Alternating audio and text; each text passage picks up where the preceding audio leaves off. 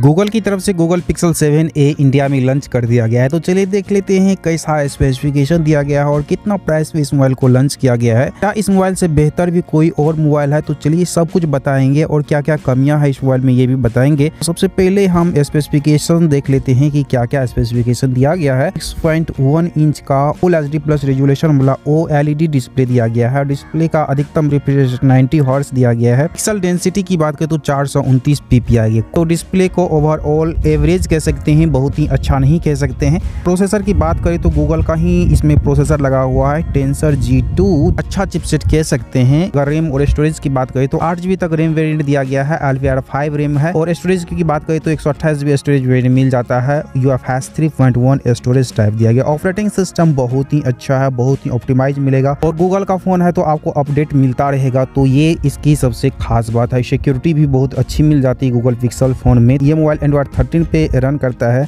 और पाँच साल तक अपडेट मिलता रहेगा, ऐसी गूगल का कहना है। बैटरी की बात करें तो तैतालीस सौ की बैटरी दी गई है। वायरलेस चार्जर भी दिया गया है और वायर चार्जर भी दिया गया। वायर कितना वाट का दिया गया, इसके बारे में जानकारी नहीं है। अगर कैमरा की बात करें तो ये कैमरा सेंट्रिक मोबाइल है सुपर कैमरा आता है इस रेंज में। इस रेंज में इसके टक्कर का कोई कैमरा मिलेगा ही नहीं तो कैमरा के लिए बेफिक्र हो जाइए। चौंसठ मेगापिक्सल का मेन कैमरा दिया गया है और तेरह मेगापिक्सल का अल्ट्रा वाइड एंगल कैमरा दिया गया है और फ्रंट में तेरह मेगापिक्सल का कैमरा दिया गया है। कैमरा क्वालिटी, सुपर क्वालिटी का मिलेगा। वीडियोग्राफी भी, फोटोग्राफी भी बहुत ही अच्छा मिलेगा। ब्लूटूथ वर्जन 5.3 दिया गया है बैंड वाईफाई दिया गया यूएसबी टाइप सी पोर्ट दिया गया है। फिंगरप्रिंट स्कैनर डिस्प्ले के ऊपर ही मिल जाता है IP67 रेटिंग के साथ आता है। दो स्टूडियो स्पीकर दिया गया है। प्राइस की बात कर ले तो आठ जीबी रैम एक सौ स्टोरेज वेरियंट कीमत इंडिया में तैतालीस हज़ार नौ सौ निन्यानवे रुपया रखा गया है। Thanks for watching my video thank you very much